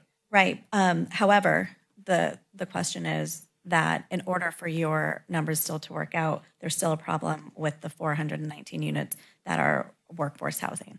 And so an we still economic- don't, we still might not have a project, but but that's for a different day, different discussion. We're just talking about units in terms of the height and the FAR, that generates the number of units. The economic feasibility goes to the number of workforce housing units assigned to the, to the site. Can you tell me when we would be able to have that conversation? Or what, you know, is that when we go over zoning or when they submit a different design or, because this is just for our eight, our housing element? This is just for the housing element and the, the request that we saw. Um, in terms of when could we, the economic feasibility, so we do have a study occurring right now with Kosmont, um, looking at land use and feasibility of, um, economic feasibility of redevelopment. I will say that, um, I think there's a disconnect that is uh, coming up currently with the regarding the letter that was submitted to HCD because there um, they there was definitely recognition of the number of units that we were placing on the mall for mall redevelopment, and my understanding was in order to make it feasible, uh, they were requesting the the request that I went over in my presentation this evening. So I think there is a, a little bit of a disconnect. I was not aware that they were um, asking for the 75 feet based on the 2019 plan. My understanding was the 75 feet, and it would apply to the entire site. Um, not the 2019 plan did not have 75 feet heights throughout the entire plan. There were areas that were still at um, two stories um, that could, and, and a lot of more property owned by Merlone Geier that could be developed um, on the mall site. So my understanding from that letter was that the requests were in order to make redevelopment feasible on that site and produce our numbers in terms of RHNA. So Katie, um, you mentioned a timeline for us to get back to, to them. What was, where are we on that timeline? Six week, where are we in the six weeks? For HCD? We were hoping to bring them just draft edits as soon as next week. But Um, Because you just learned something new, I'm just curious about whether we need more information um, based off of what we just learned today. So we're under the gun at this point to get the housing element done. Uh, the day before we adopted housing element, you'll recall we got a letter from Merlone Geier that asked for three specific things. Subsequently, our housing element that we submitted to HCD was rejected, and they asked us essentially to do those three things. So Planning Commission has recommended those steps. Um, I think every day that we go without having taken a step in terms of submitting uh, puts the city in, at risk to some degree. So I think my recommendation would be to focus on the Planning Commission's recommendation, which is about allowing 75 feet in the zone of the mall. And about That's my question. My question is, because you learned more information this evening, do you need more time to think about what we're really asking for? Because we don't want to see our developer not succeed. We really want this project, but you just also learned some new information. So my question is, Katie, for on your end, do you need more time for that? You know, I, I think it's worth, um, if there's agreement that 75 feet would work, that we move forward with comments to HCD and simultaneously, um, the two of us work together, our teams, to discuss exactly what that is. Because at this point, we're just looking for, we just need to get the housing element update in the, it take, we, it's another 60 day review by HCD to get their initial comments. So we'll get that rolling. But if David and I and David's team sit down and we figure out that um, we need to adjust something, we would bring it back to Planning Commission and City Council and just to have it moving. Thank you. We appreciate it. Katie, I have one more question for you before we go to public comment. We zoned this for a certain density and a certain number of housing units based on the housing element, but that doesn't mean that it's required, that the developer is required to build housing there, correct? Correct. So my concern, I guess what I'm asking you, is it possible that we could put in an allowance for 75 feet in height and a 2.0 floor area ratio and not mess with the affordability requirement and then have the developer come to us and say, well, we're going to build a 75 foot office building here now? We can structure it so that that would not happen. Okay. Okay, uh, we will close uh, council questions for now and bring it out to public comment. And seeing no members of the public, we will bring it back to council for uh, deliberation and discussion. And there's no vote on this, so just deliberation and discussion. Comments? Yeah, I'd, I'd like to say that uh, I would agree with the, the Planning Commission as long as we can keep the objective standards. Um, it has to be a project that's good for the developer, but it also has to be a project good for the city. So if we can keep that in mind as we're moving forward, um, personally, I think 75 feet might be too high, but we, we probably have to see where it takes us. We don't have to make the decisions now, but uh, we need to keep moving. So I'd be in support of that. Um, I agree with Councilmember Clark. Um, I also think that um, looking into the wrapped version of the garage would be my take, um, along with the tiered approach. Um, definitely, you know, with the whole like sun sunshine requirements or whatever they're called. Um, that's important to me. Um, but yeah, other than that, I would echo what Joe said and take the direction from Planning Commission too. Thank you. Um, yeah, I, I think it's what's really important for me is transparency with the community. And when you see larger numbers thrown around without conversation, it just makes me really um, hesitant, right? And so it makes sense. I appreciate Merlone Geier being back at the table to have these conversations because we've waited a long time. Um, I have concerns that this still is a project that doesn't um, isn't economically feasible for you, um, and so I hope that you find time to work with staff and can so that we can keep this project moving. Um, and that's why I'm in. A, I'm, I'm happy to to move with um, the Planning Commission's recommendations in this. But I really encourage having those conversations and to continue them. Um, in regards to the objective standards, I think you got enough feedback from Planning Commission in, in regards to the wrapped um, wrapped garage and the daylight plane. Um, that's what it was called, yes. uh, and you know, I think just overall, as you continue to update us, to just uh, remind the community how this is different than you know when we actually see a project in front of us, and that they have community and there's opportunity for input. Because as our mayor said, this if there were over 1,000 people added to our beautiful city of Capitola that has a significant impact on our resources, our community, our streets, our schools. Um, and so I just want to the community to know that we're, we recognize that. And this decision this evening um, is not, it has nothing to do with creating 1,300 um, units. So thank you. Those are my comments. Yeah. I would also support the 75 foot and um, exclusion of the parking structures from the R ratio. I'd also be in favor of um, revisiting the uh, community benefit standards, making those more objective, or um, ensuring that Merlone Geier or whoever develops the mall is able to do so without being um, with more security in what they can expect from the city. Um, and that we do everything that we can to make this pencil out and be a good partner to them so that this actually happens in a reasonable time frame. Thank you. Thank you. Um, yeah, I mean, I'll, I'll, um, I, I'll be honest. I feel like our hands are kind of tied here at this point. Um, we need affordable housing, and zero affordable housing does nothing for us. I'm not thrilled with the idea of lowering the number of affordable housing units that we're going to have here when we're the most expensive housing market in the country. Um, but I understand the need to move forward um, with our housing element because the note that was provided essentially caused HCD to decide that that was what was preventing our housing element from being able to be certified.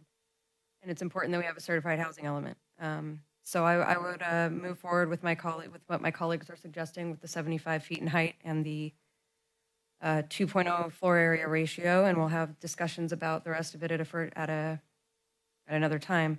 Uh, I also think the wrapped garage is important, though less important than housing affordability.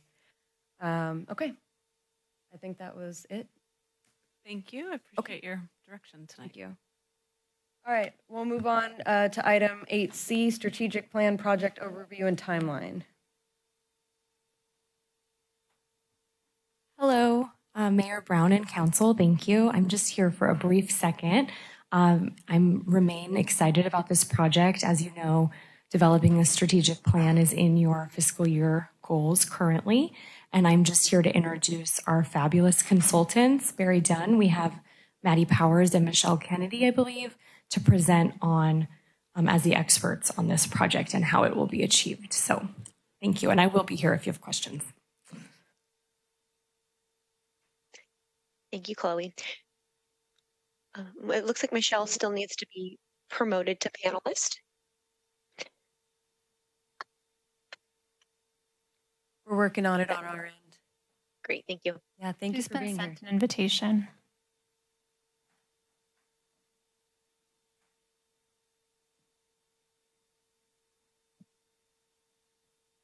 Are you able to see and hear me now? Yes, we can hear you. Do you all have tech? I'm hearing some and I want to make sure that um, all the tech is right. Ms. Kennedy, we were able to hear you for a second, and now you're cutting out. Can we try your? Can we do an audio check one more time? Yes, hi. There you are. Yes, Can hello. Thank you for being here.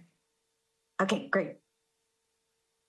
Well, with your permission, we'll go ahead and share our screen and get going on the presentation we have for you tonight.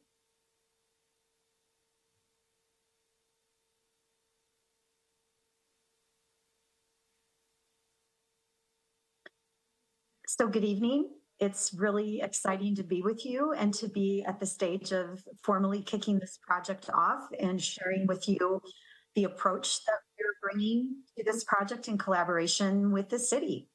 I'm, um, I'll, we'll introduce ourselves in just a moment, but Maddie, if you want to go to the next slide. I'm having some difficulty, Michelle. Give me one moment. The tech is always the hardest part. No worries. Let me know, Maddie, if it's easier for me to share. Are Are you both able to see into chambers, or are you seeing a picture of yourself? We are seeing ourselves. Okay. Oh, okay, okay. Well, we will just be disembodied voices to you, but we are glad that you're here. We were watching you before, so Okay. we know it. we have a sense of who's in the room. As I'm working through it on my end too. We're just Sorry working on about some tech stuff on on our end, and we'll we'll be ready in Okay, just Michelle. a minute. Thank is you a for little your bit easier. patience. Oh, Can everyone see the screen now? yes. Oh, great. All right, so this is our agenda. We're going to introduce our team to you, um, give you an overview of the um, sort of how we um, are going to approach strategic planning, an overview of the process, a few details on the project approach, and um, our timeline. And then we're happy to take questions um, either during the p- presentation or at the end, whatever you prefer. So this is our project team. There are two of us here this evening. I'm Michelle Kennedy. I'm the project manager and lead facilitator. Just a little bit about my background. Um, I've been conducting strategic planning for local governments as a consultant for almost 30 years now. Prior to that, I worked in government sector in a variety of different roles, policy roles, uh, budget roles, um, communication roles. Uh, so have a long, long background in, in serving government.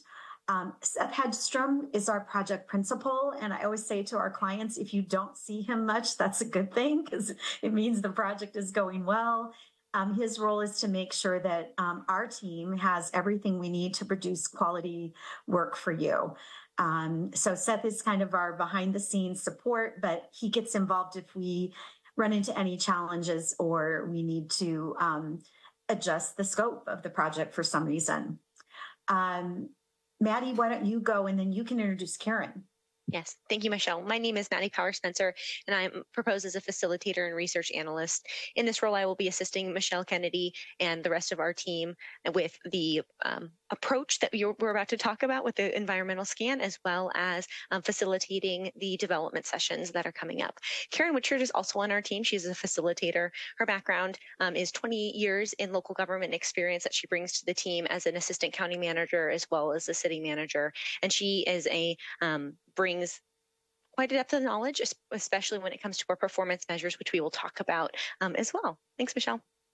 And both Maddie and I are West Coast based. Oh, Maddie, if you go back to that slide for just a minute. Of course. Um, we're, we're very close, uh, easy to get there. And so we're going to be your primary on-site folks for the project.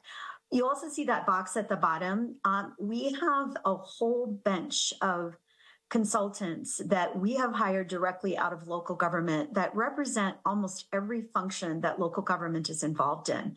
So, for example, we have a former police chief, we have a couple of former parks and recreation directors. Um, so, if we go into the strategic plan and some of the priority areas we identify, we want that extra expertise, we can draw on that team if needed. Okay, now next slide, Maddie.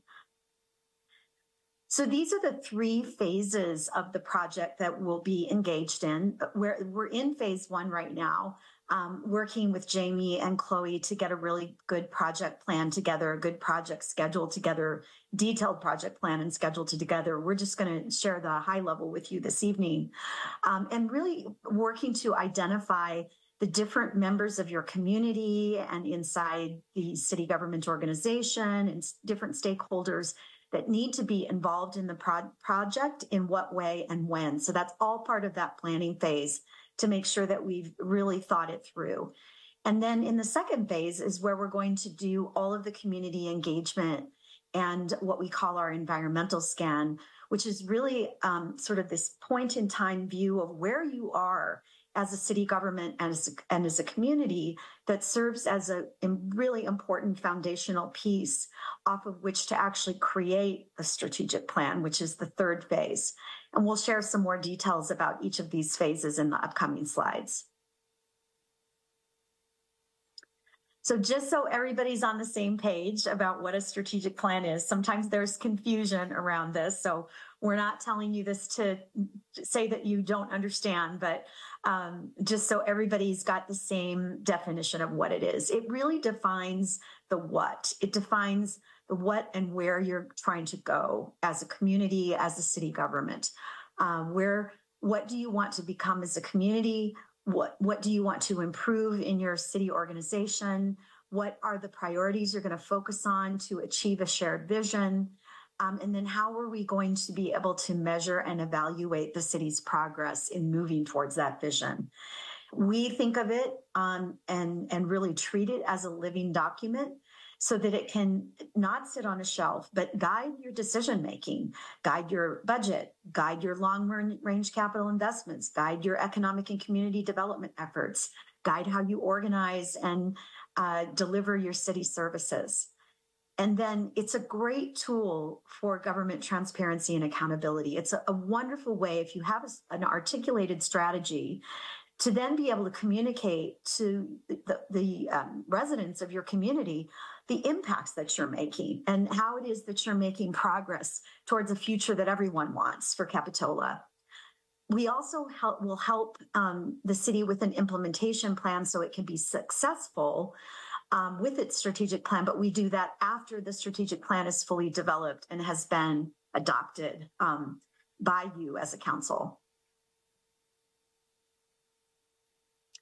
So I mentioned the environmental scan and how important community engagement is. So the community engagement and, and some other um, data gathering that we do really is how we build that environmental scan. And, and it, it presents the current and anticipated events that are going to be happening, um, their relationships um, within your organization internally and with all of your external environments, and then it's the basis of determining the future direction of the organization and the areas of focus that you're going to be paying attention to.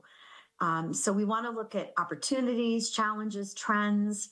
We want to make sure that everyone who's involved in the strategic planning process has a shared understanding of the current environment and what the opportunities are. And then again, we're working with that environmental scan to help you as city leaders navigate those different things that we're going to identify um, that come out of the community engagement process.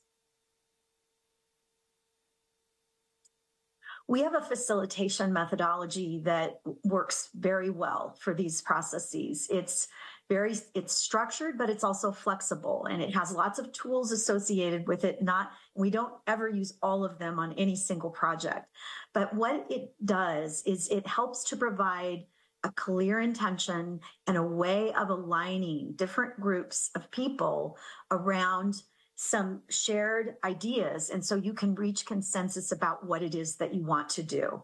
This facilitation methodology was developed about 40 years ago. Its purpose is community building. Um, our team members are certified in this methodology and it's designed to, to really emphasize those things that are in the, the, the five circles there. Um, and so we'll be bringing that methodology, um, customizing it, and applying it to your process.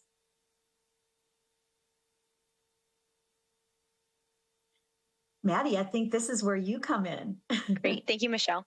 Uh-huh. So here you you will see the project approach and plan development. So there's three key elements to this. It is City Council. What is City Council doing? What is City staff and leadership doing? And what is the community's um, impacts. So for city council, it really is to develop what is the mission, the vision, the core values or the guiding principles, and the strategic priorities and goals. What does that look like? For city staff and leadership, it is refining the council's work, developing strategic objectives, um, performance measures, and the implementation plan, and making this actionable based on the, your council and the vision. And then the the Capitola community, what is their role? Their role really is identify priorities um, for the city to focus on, as well as help to create this the, the vision moving forward. So some of the key project activities, we have community and staff engagement. This includes a social pinpoint site, which is a web-based um, landing page site that's a mobile, desktop, and tablet friendly. We have a community survey. We have interviews with focus groups, including community leaders and elected officials. We have interviews with staff as well as a, a virtual community workshop. Plan development sessions this with city council and leadership and staff and then a final strategic plan. The final plan will be graphically designed, beautiful visual plan that ever that you can share um, out to everyone, and that can be a tangible takeaway from what we've created for the strategic plan. What sources inform the strategic plan? So, this is the information and the various sources that we um, work with you all as well as the community to put together um, these ideas and identify these priorities. So, some of these elements are the interviews with community uh, members as well as the community workshop, that social pinpoint community engagement platform, the community survey results, existing demographic and economic data, what data already exists, and we pull that, as well as the current existing city plans, what is already happening, and what do we have to take into um, impact? What what impact do we have to take into consideration for the current environment? So, when we talk about mission, vision, guiding principles, and strategic priorities, these are those four elements of the strategic plan. And what are they? So, the mission is what you do now, for whom, and how do you do it? The vision is where are you going? What does the next five years look like? What is that um, future that you want to achieve for the community? Then we have the guiding principles and how is the um, organization carry out its mission and how does it really interact with the community? What does that work look like? And then strategic priorities. What are the four to five areas that you want to focus on to achieve that vision and moving forward? This is one of um, my favorite um, slides to show because it really shows how everything works together. So if you're looking at it like a house, the vision is at the top and then the mission comes underneath and then each of those strategic priorities, the goal statements that are associated with the associated with the strategic priorities and then very hard to see here but this says objective and then also measure. So these are the tangible actions that you take in order to ob- obtain each of these strategic priorities. And then at the bottom um, really is that foundation is those guiding principles. What are those core values and those core ideals um, that make you be able to do all of the work this is our current approach to the project timeline. Our typical strategic plans last anywhere from six to 12 months.